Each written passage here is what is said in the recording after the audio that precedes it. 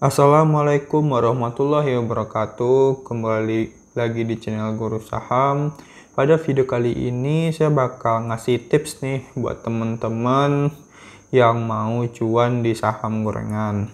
Nah, pada kali ini contoh kasus yang kita mau ambil yaitu uh, minta jajan di sahamnya Belvin gitu ya. Um, teman-teman tips ini berguna bagi teman-teman yang mungkin ya nggak punya duit untuk gabung grupnya VVIP gitu ya. Um, makanya ya nggak perlu hilang harapan teman-teman tetap bisa uh, ikutan trading di sahamnya Belvin uh, tanpa perlu mengeluarkan uang ya yang mungkin uangnya nggak ada gitu ya Uh, tapi di sini saya bukan ajakan teman-teman nggak dilarang join grup VVIP atau jangan gabung bukan ajakan ya. Ini bagi teman-teman yang mungkin nggak punya duit ya untuk gabung di grupnya Belvin gitu ya. Ya kalau mau gabung terserah aja gitu ya. Asalkan kalau ada uangnya kalau gabung ya silakan gitu. Um, oke. okay um, teman-teman mungkin udah tahu ya Belvin nggak perlu saya jelasin lagi Belvin siapa gitu ya mungkin udah pada kenal ya mayoritas. Nah di sini kita langsung aja bahas kita bisa lihat um, Belvin sekarang lagi promosiin MDIA pada malam hari ya. Gunanya ya untuk biar sahamnya itu pas baginya bisa naiknya cepet gitu ya. Uh, karena dipromosiin bangkitnya FOMO pada borong gitu ya. Dan yang pasti ya menurut saya yang saya yakini ketika orang mempromosikan saham pastinya uh, dianya udah akumulasi duluan ya. Itu menurut saya. Uh, kalau ada yang membantah ya silahkan. Persepsi masing-masing Nah, kembali lagi pastinya udah akumulasi duluan, makanya dipromosikan sehingga harganya naik, ya bisa jualan. Orang yang punya saham tersebut bisa jualan ya ketika saat orang beli gitu. Um, ya makanya dari itu uh, pasti Belvin udah akumulasi duluan nih di MDIA menurut saya baru dipromosiin malam-malam gitu sehingga teman-teman mungkin yang mau beli MDIA besok paginya sangat beresiko karena udah ada yang punya sahamnya dari bawah mau jualan ya teman-teman resikonya tinggi banget buat nyangkut gitu ya. Kalau udah jualan teman-teman mesti beli di atas ya nyangkut gitu. Maka dari itu gimana caranya kita tahu nih kalau saham MDIA ini bakal bakal dipromosiin oleh si Belvin di grupnya pada malam hari. Gimana caranya kita tahu dan kita beli juga duluan pada hari sebelum dinaik mau naikin harganya. Nah, itu yang saya bakal share di sini ya. Ini tips aja ya. Teman-teman, bukan ajakan apa pun, cuman tips aja gitu. Dan sharing tips-tips pengetahuan. Oke, yang mungkin perlu kita ketahui dulu sebelum lanjut kita coba cek. Nah saya udah mencatat di sini ya teman-teman. Um, pertama itu ciri-ciri saham Belvin.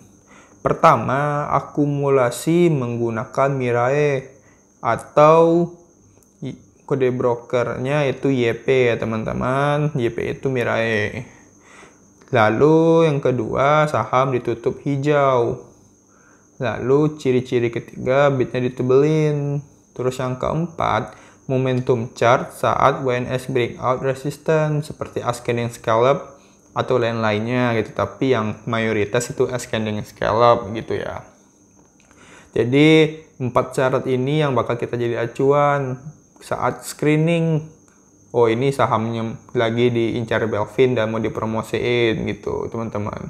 Nah lanjut di sini ada screening saham Belvin. Nah ini yang penting nih cara screening screeningnya gimana gitu ya. Yang pertama, kita menggunakan aplikasi yang bernama Data Saham Indonesia. Teman-teman bisa download di Play Store, logonya warna merah gitu ya. Uh, insya Allah nanti aplikasi guru saham juga bisa, tapi ya belum. Saat ini masih di pengembangan, makanya kita pakai aplikasi yang udah bisa dulu, yaitu Data Saham Indonesia.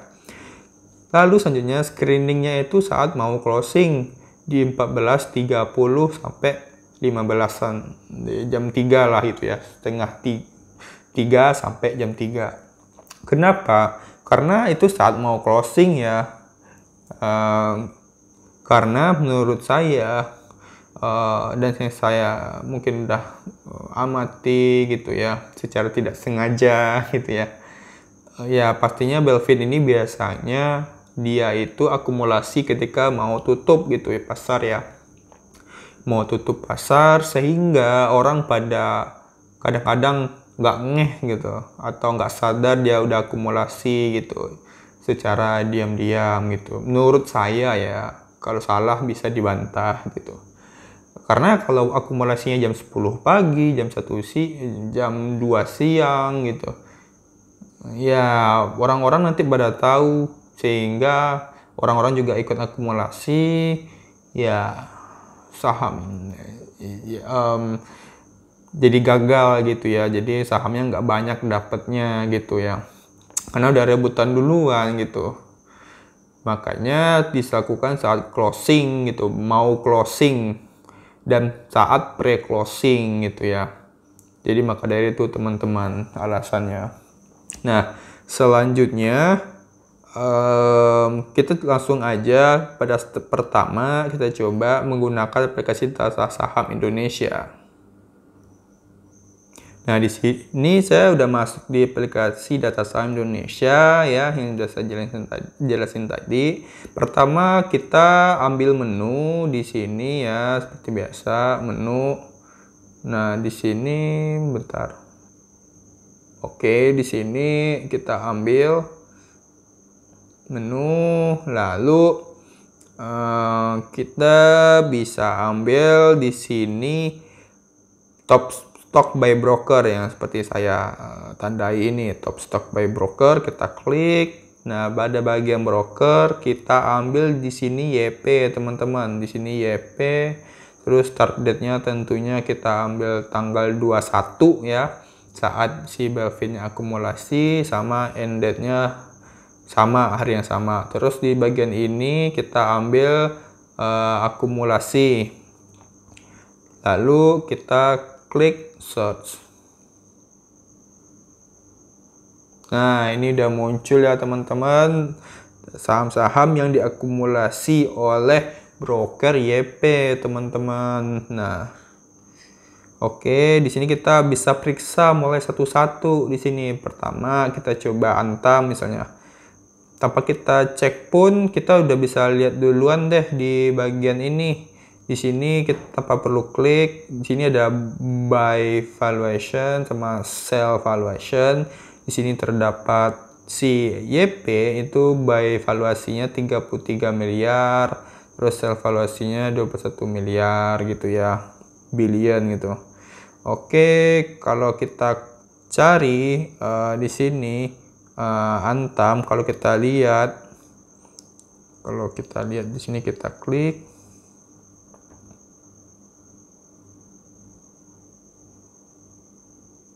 Nah, Antam lagi merah. Berarti Antam bukan saham incaran si Belvin. Udah skip aja gitu. Kita carinya sesuai ciri-ciri. Itu tutup hijau gitu ya. Terus di sini ada LSIP yang juga buy tinggi banget oleh CYP sedangkan salnya rendah banget. Nah, ini uh, menjadi kandidat yang cukup kuat. Coba kita klik LSIP. Wah, ternyata uh, malah merah gitu. Ya udah melanggar ciri-ciri ya kita skip aja langsung tanpa basa-basi. Lalu di sini ada KF, di sini kita bisa lihat juga valuasinya tinggi ya. Buy-nya tinggi, sell-nya, tapi di sini udah arah duluan dari pagi yang ngapain juga Belvin um, akumulasi saham yang udah arah gitu ya nggak perlu lagi gitu ya karena ya udah udah pada ngantri-ngantri aja di arah jadi KF udah skip BBTN kita klik lalu juga merah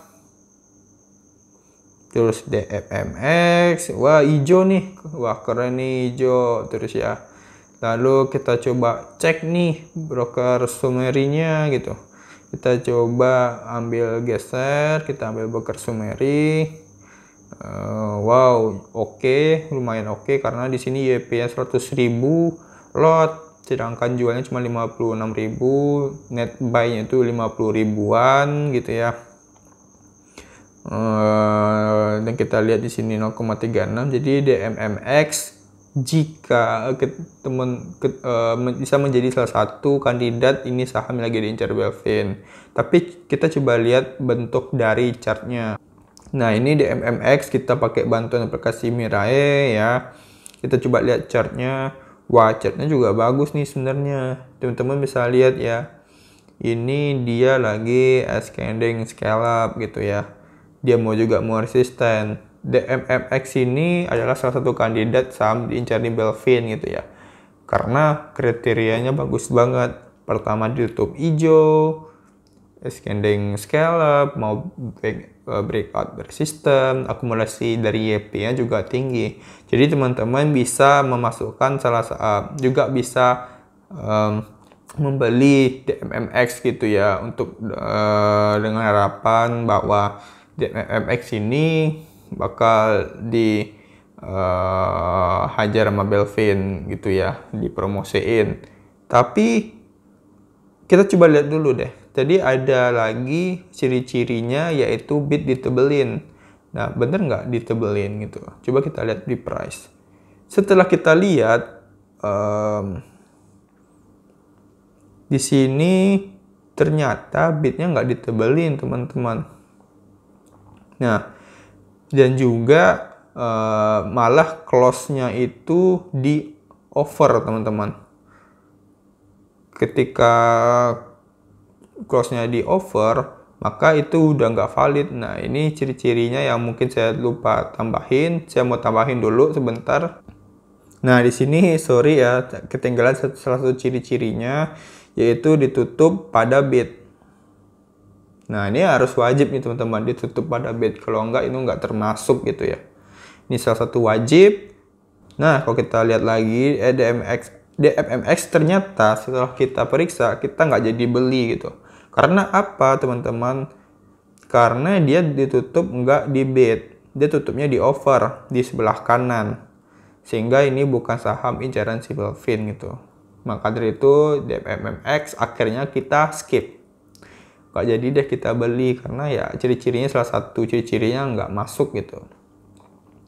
Oke, eh, lanjut teman-teman. Hmm kita skip DMMX, kita back lagi, kita scroll lagi, ada Bevin, ditutup hijau juga. Nah, coba kita lihat Bevin pakai bantuan aplikasi Mirae. Oke, di sini aplikasi Mirae, Bevin. Bevin ternyata teman-teman um, juga ditutup di over jadi skip. Oke okay, skip. Gampang banget kan teman-teman? Lalu kita lanjut. Next lagi apa lagi nih? Ada UNTR merah skip. Ada same. Wah 14% nih naiknya. 14% broker summary juga YP wah ini enggak salah satunya ini juga nggak oke okay karena antara buy lot dan sell lotnya itu hampir sama teman-teman. Karena kalau untuk Belvin tuh um, jaraknya itu bisa tinggi banget. Bisa jaraknya itu bisa 50% lebih an jarak antara buy dan sell mungkin ini kita, saya mau nambahin lagi di ciri-ciri ya. Sorry udah kurang lagi. Coba kita tambahin. Nah di sini saya udah tambahin ya untuk ciri-ciri selanjutnya buy lot uh, buy lot jauh berbeda dengan S lot jadi net buy-nya itu tinggi banget perbedaannya. Kalau dikit-dikit itu bukan sahamnya si Belvin itu teman-teman. Jadi di skip aja gitu ya. Oke. Okay. lanjut Sam kita skip. Lalu ada Pegas merah skip. ASI skip merah IRA ARA ya skip karena ARA ya itu nggak saham incaran apalagi yang mau diakumulasi ya. BBHI juga skip ARA MTEK juga merah skip. Terus ada care kalau care kita lihat broker summary-nya juga enggak juga bukan YP malah ya. Kadang tools ini juga enggak terlalu akurat. Akurat sih teman-teman. Cuman ternyata YP ini bukan broker yang lebih banyak membeli gitu. Ya di sini kan kita pantauannya uh, buy lot sama sell lot ini antara YP aja gitu. Jadi makanya YP nggak harus top stock top 5 gitu ya. Bawah merah skip di sini ada bank skip merah Arto juga skip uh, hijau lu ya ini cuma 0,3 ini juga enggak intinya teman-teman pastinya broker summary itu harus YP paling tinggi di atas teman-teman. Teman-teman DGIK lama banget loadingnya. Kita lihat broker summary nah ini wah salah satu juga oke okay, karena kita lihat di sini YP di paling atas ya. Uh, paling atas. Terus antar buy lot dan sell lotnya jauh beda ya buahnya jauh tinggi banget. Nah juga hijau. Nah ini coba kita cek dulu ya di aplikasi Mirae. Aman nggak ya? Tadi apa ya? Saya lupa. Um, DGIK nah gimana nih bid offernya? Aman nggak? Gitu ya. Ternyata enggak teman-teman. Bitnya kecil banget nggak tebal. Jadi skip DGIK bukan saham incaran Belvin Oke, lanjut kita jelajah lagi LPPF. Loading terus. Nah, di sini broker summary-nya nggak oke juga. YP-nya ya nggak jauh berbeda LPPF. YP yang nggak terlalu ini nggak kuat. LPPF oke lalu kita ada mark dan inilah inilah yang kita lakukan teman-teman saat screening. Jadi kita memang banyak banget yang kita screen.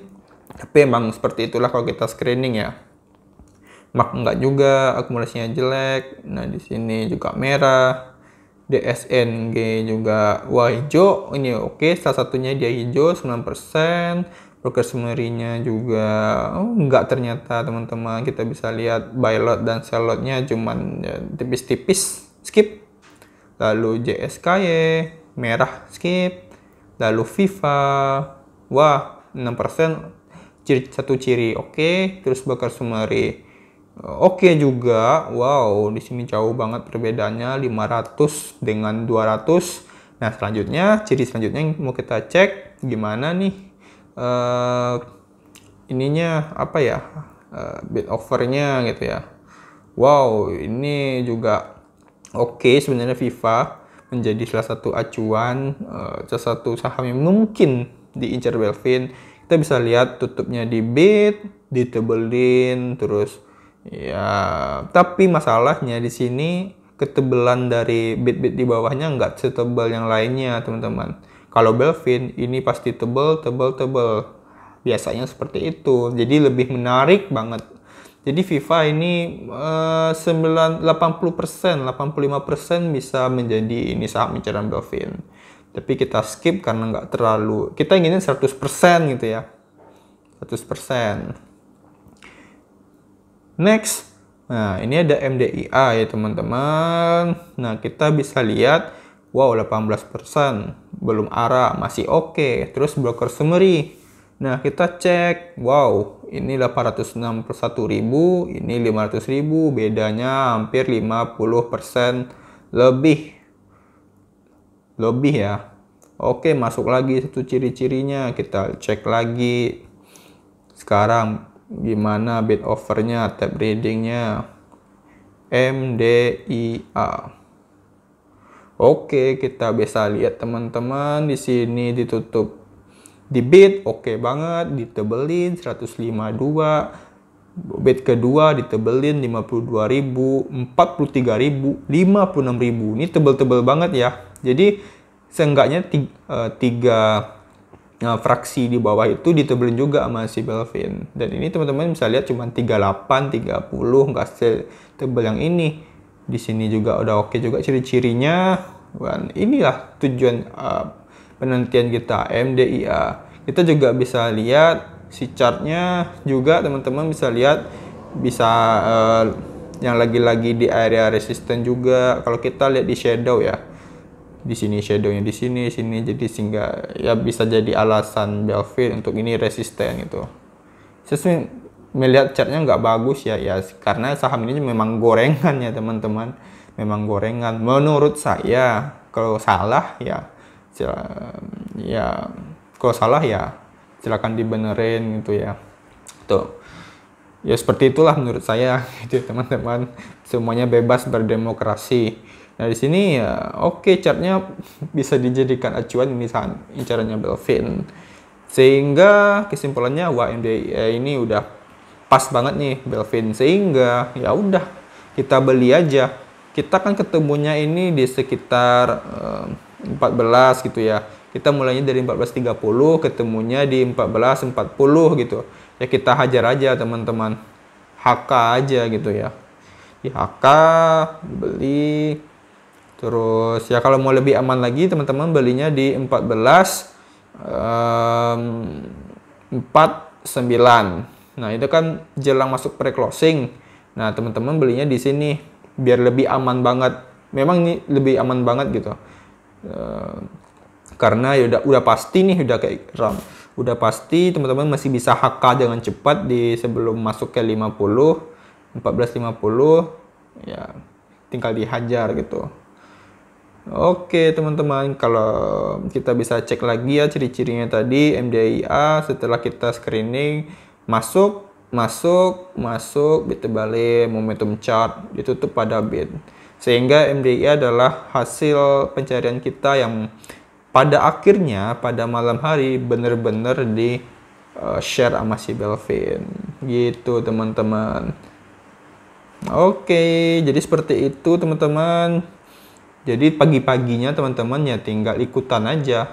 Duduk dengan yang tenang, sahamnya naik, teman-teman ya udah ikut jualan ju aja gitu. Ambil-ambil jajan lah untuk beli beli nasi goreng, beli, beli uh, ketoprak atau beli apa kesukaan teman-teman gitu. Jadi sekali lagi saya pada video ini cuma ngasih tips ya teman-teman, teman-teman saya bukan menyarankan untuk uh, wah caranya ini salah atau apa. Wah menyarankan jangan masuk grup Belvin. Enggak ini cuma tips saja bagi teman-teman yang mungkin nggak punya uang untuk gabung grup-grup seperti grup Belvin gitu ya. Ya kalau punya uang mau masuk ya silakan nggak ada yang melarang gitu ya. Risiko semua ditanggung masing-masing gitu ya tanggung jawab masing-masing sebagai manusia dewasa. Gitu teman-teman. Jadi ya saya nggak ada menyalahkan siapa ini itu dan saya nggak ada apa-apa. Intinya ya sekedar sharing aja um, ya mungkin Belvin Ko Belvin uh, lagi ini ya, lagi Mas Belvin lagi nonton video ini ya saya mau salam aja sapa halo Mas Belvin yang nonton video ini. Uh, kita numpang trading ya teman-teman saya mau numpang trading ya di sahamnya Mas Belvin uh, jangan di ini ya jangan dijahatin ya jangan di ya Mas Belvin baik lah saya yakin. Jadi ya numpang ngambil mungkin teman-teman saya mau ngambil ketoprak aja mau beli cincau mau beli es es doger apa es apa gitu ya. Ya dikit-dikit aja gitu. Oke nggak perlu basa-basi lagi basa-basi lagi kita udah tahu ya caranya mungkin ke depannya saya juga bakal bikin video seperti ini lagi mungkin masih ada materi yang saya kelupaan untuk dibahas saya bikin video selanjutnya Oke, terima kasih sudah menonton. Jangan lupa share video ini ke teman-teman lainnya, saling berbagi dan bagi kamu yang masih rugi tetap belajar, yang udah untung tetap waspada. Assalamualaikum warahmatullahi wabarakatuh.